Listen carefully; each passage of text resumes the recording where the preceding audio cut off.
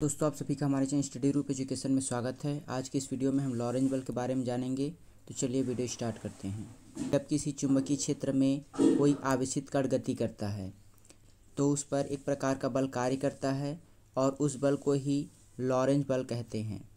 उस कण पर कार्य करने वाला बल, उस कण के आवेश, उसकी चाल और चुंबकीय क्षेत्र की तीव्रता के अनुक्रमानुपाती होता है, जिसे हम सूत्र के माध्यम से देख सकते हैं।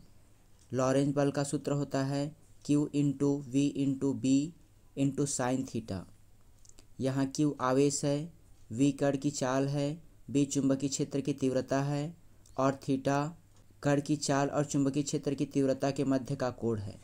तो लॉरेंज बल का सूत्र होता है q into v into B into sine theta इस बल की दिशा कण की गति के लंबवत और चुंबकीय क्षेत्र के लंबवत होती है।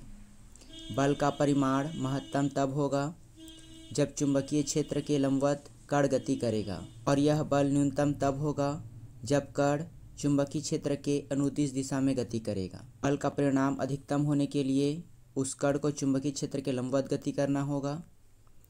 और बल का परिणाम न्यूनतम तब होगा जब वह कण चुंबकीय क्षेत्र के अनुदिश गति करेगा। तो ये हुआ लॉरेंज बल।